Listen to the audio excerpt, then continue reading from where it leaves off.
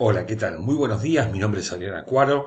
Este es el análisis técnico de las principales acciones de la Bolsa de Nueva York para este día, viernes 14 de octubre de 2022. Comenzamos con la acción de Apple que finalizó el día jueves a 143 dólares con 21 centavos y una tendencia que se perfila ligeramente al alza en el gráfico de una hora, pero con esta línea de tendencia que no pudo superar en los máximos de la víspera por lo cual podríamos esperar un nuevo retroceso del papel en la apertura del día viernes con soportes en 140,50 y 137,75 los mínimos del día 3 de octubre. Al alza 144,65, 147,50 y 149,25 con indicadores que apuntan al alza tanto en la demanda como en momento, pero con un estocástico ya agotado en su instancia superior. En tanto, Amazon finalizó el día jueves a 112 dólares con 74 centavos y una tendencia que se perfila al alza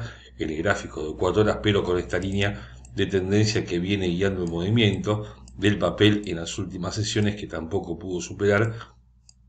Es una línea más que de tendencia de velocidad ¿eh? y con objetivos en 113,75 y 115,60. La baja 111,75, 110,25 y 108,90 lejos quedan los mínimos del día jueves con indicadores que apuntan en todos los casos en dirección alcista, no obstante lo cual no parecen tener demasiada fuerza para promover un nuevo movimiento alcista del papel. Google finalizó el día jueves a 99 dólares con 16 centavos, tendencia bajista de gráfico de una hora, pero con una fuerte recuperación del papel en las últimas horas de la víspera, con objetivos en 99,80, 100,50 y 101,25. A la baja, 98,65, 98,10 y 97,05 con un FIBO que nos marca que el último movimiento bajista tiene por encima del nivel un 61.8% que no pudo superar y los indicadores